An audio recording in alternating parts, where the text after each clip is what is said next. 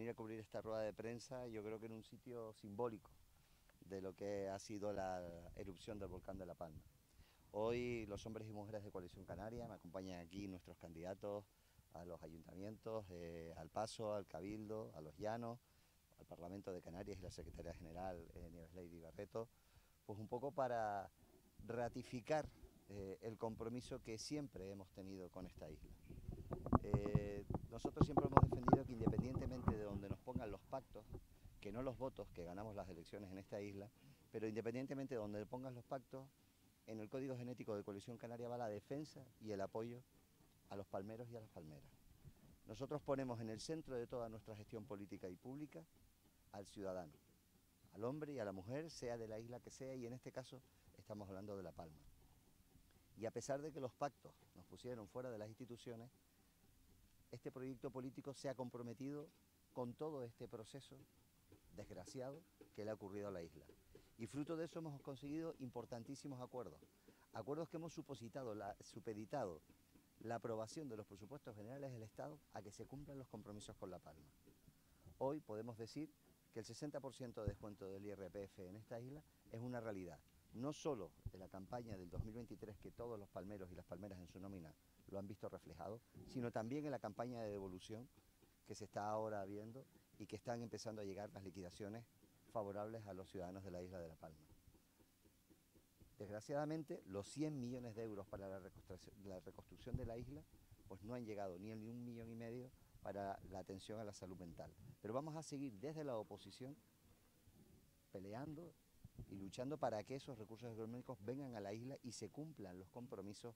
que vinieron a hacerse la foto, vinieron a hacer las ruedas de prensa y los compromisos siguen sin cumplirse. Yo quiero aprovechar también para felicitar al alcalde del Paso por la valentía, por el arrojo, mi compañero Sergio, aquí presente, por la vocación de servicio, por todo lo que ha tenido que pasar en algunas ocasiones, hasta por simple y llanamente atender bien a los vecinos y cumplir sus compromisos, ha tenido que soportar críticas de otros partidos políticos. Pero la realidad es que su compromiso es con los vecinos del municipio del Paso. Y por eso los, ciudadanos del municipio del Paso lo valoran, lo aprecian y desde luego estoy absolutamente convencido de que va a tener un resultado magnífico en su candidatura al Cabildo de la isla de La Palma. Informarles también de que esta mañana, precisamente en esa intención de que lleguen los recursos pronto a las familias de La Palma, Nieves Barreto organizó la sala centro una reunión con todos los representantes de las principales entidades financieras para que se comprometiesen, como así han hecho, y aprovechamos para darles las gracias y felicitarlos, adelantar todas esas liquidaciones o todas esas devoluciones del IRPF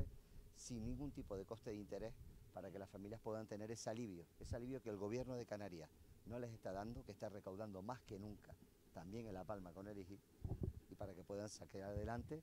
bueno, pues sus compromisos y desde luego también que esos 54 millones de euros aproximadamente que calculamos que se van a quedar en la isla fruto de ese 60% de descuento de residentes, cuanto antes lleguen a los ciudadanos de la isla de La Palma y se puedan activar en la restauración, en el comercio, en definitiva, en el día a día de la isla para intentar recuperarla. La emergencia de La Palma no ha terminado. algunos parece que para ellos ya haya terminado. La emergencia de La Palma continúa y hasta que no se recupere lo que el volcán le quitó a la isla, Coalición Canaria, los hombres y mujeres que estamos hoy aquí, vamos a seguir peleando hasta las últimas consecuencias. Muchas gracias. Eh, muchas gracias. Decía nuestro secretario general y candidato a la presidencia del Gobierno de Canarias, Fernando Clavijo, que la emergencia en esta isla no se ha acabado. Y es cierto, no se ha acabado. A veces eh, uno eh, escucha a algunos representantes públicos mm, que gestionan instituciones mm, dar a entender que aquí todo está resuelto, que todo está resuelto con el tema de la vivienda, eh, que todo está resuelto con el tema de las infraestructuras y esto es absolutamente falso. Hoy, eh, además de esas reuniones, nos hemos sentado y hemos podido eh, avanzar también y trabajar en la exigencia que tenemos y que vamos a seguir manteniendo para que se aprueben definitivamente y de una vez esos decretos que tienen que regular todo, todo lo que tiene que ver con el tema agrario, pero también con el tema urbanístico. Llevamos más de un año escuchando decir que se van a aprobar. Al final nunca ningún decreto va a ser perfecto, lo que queremos es que se aprueben de una vez y que se modifiquen las veces que se tengan que modificar. El mejor ejemplo de eso lo tenemos con el decreto para facilitar la construcción en suelo rústico, que lleva más de 11 modificaciones. Y digo más porque la 12 venía en camino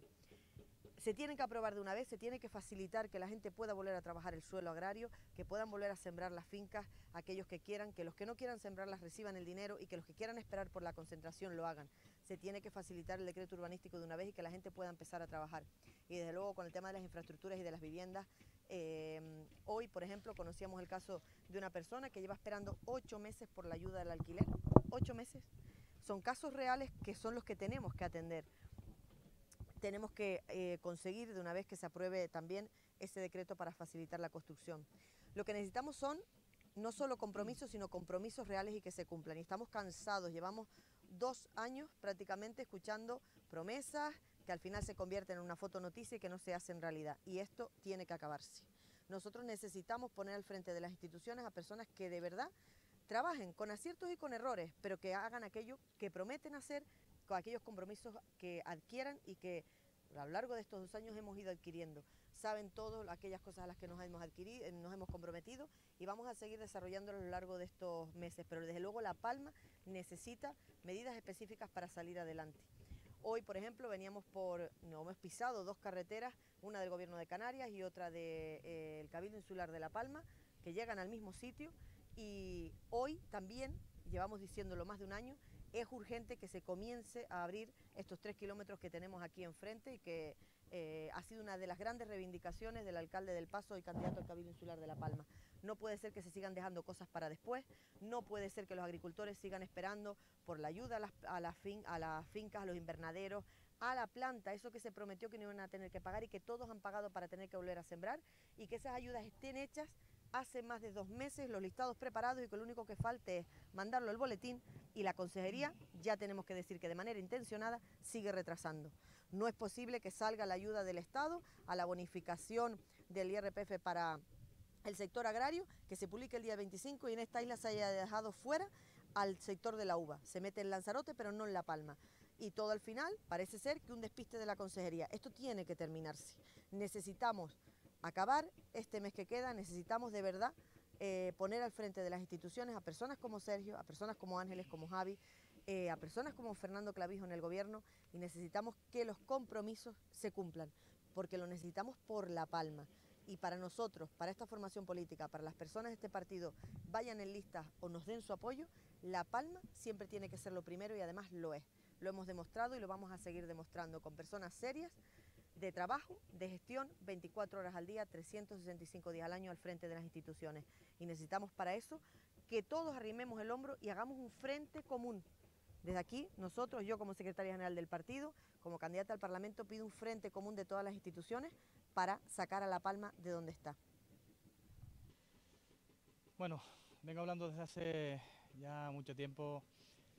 que mm, el principal problema es que ni el gobierno de España ni el gobierno de Canarias ha entendido la dimensión de lo que ha pasado eh, aquí en, la isla de La Palma. Eh, hay mucha gente todavía que no ha cobrado las ayudas. La respuesta que eh, necesitamos de esas 11 visitas del presidente del gobierno de España y no sé cuántas del presidente del gobierno de Canarias en este momento es ínfima. La gente no tiene en sus bolsillos eh, la economía que tiene que tener para poder eh, empezar a reconstruir sus vidas. Y si hay algo que diferencia a, Fernando Clavijo, al cual quiero agradecer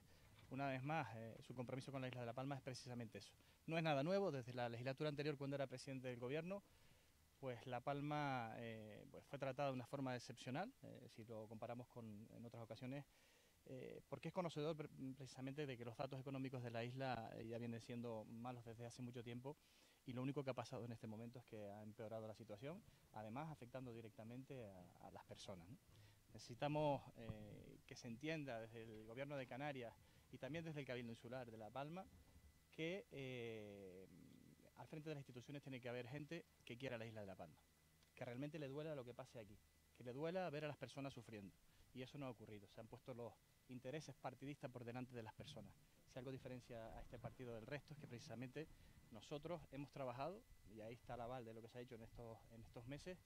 eh, en favor de las personas, poniéndolas por delante siempre de cualquier otra institución. Y el propio Fernando Clavijo, que es nuestro secretario general, así lo sabe porque desde La Palma, nuestra secretaria eh, general en la isla y yo mismo le hemos trasladado que por delante de las personas de esta isla en este momento no puede haber absolutamente nada y que nosotros vamos a partir de esa situación. Necesita La Palma también gente que esté detrás de los asuntos, que gestione. No puede ser que eh, la mitad del tiempo la, perdamos en anuncios, en propaganda y que al final la gestión esté ahí eh, paralizada. Estamos en un lugar donde en este momento eh, hay una, se está ejecutando una obra que representa la primera infraestructura que no sea una vía de comunicación mm, pública perdida por el volcán que se está ejecutando en este momento. Son mensajes de esperanza que a la población eh, también les sirven, son, son, importantes, es algo que vengo demandando también desde hace, desde hace mucho tiempo. Eh, no puede ser que esta, este lugar, esta zona por el sur de la colada, siga sufriendo el, el, aislamiento de la manera que, que, se ha hecho. Yo tengo informes que avalan eh, que la recuperación de la LP2 es posible, informes científicos, informes técnicos, y hablo directamente del, de quien ha dirigido la conexión de la laguna Las Norias, el director de obra, que es una persona que trabaja para el Cabildo Insular de La Palma, eh, ha afirmado desde hace meses que esa vía es totalmente recuperable. Y es necesario, porque esta zona, a pesar de que la gente ha podido volver, eh, en ella había mucha gente mayor que eh, ha renunciado a, poder ir a los llanos a comprar, por ejemplo, una situación tan básica como esta, precisamente porque lo que hemos hecho es alejarla. esta zona tiene toda su economía en un eje central, el norte y el sur de la isla lo tienen muy complicado. Y esto lo digo para referirme a la situación que pasa Fuencaliente en este momento. Sin la recuperación de esta vía de comunicación, de la LP2, que debe hacerse de manera urgente, pues eh, lo que vamos a hacer es también empeorar esos datos económicos de, ese municipio que ya les cuesta habitualmente. El resto de, de, las cuestiones, hay cuestiones importantes, como puede ser la situación de Puerto Nao, todos sabemos que es compleja, sabemos que estamos enfrentando algo desconocido, pero lo que no puede pasar es que no se pongan todos los recursos disponibles para por lo menos tener a la gente informada y no contar además con la gente para tomar esas decisiones. Yo creo que hemos perdido mucho tiempo eh, respecto a este tema y por supuesto que entiendo eh, pues la reacción de, muchas personas. Al final lo que hemos generado es una, situación de incertidumbre, que es la palabra que define todo lo que ha ocurrido aquí.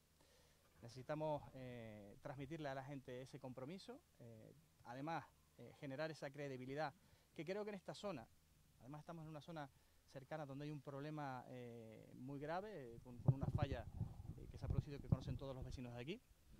y que el tratamiento y cómo se ha gestionado lo que ha pasado aquí ha sido completamente distinto y precisamente lo que hemos lo que la gente ha percibido es que le hemos contado la verdad, que hemos contado con ellos y se ha generado esa, esa credibilidad. Por lo tanto, resumiendo, La Palma necesita gente que, que la defienda, que la quiera, que ponga por delante eh, de nada eh, su interés y eh, que sea capaz de gestionar y que esté detrás de los asuntos.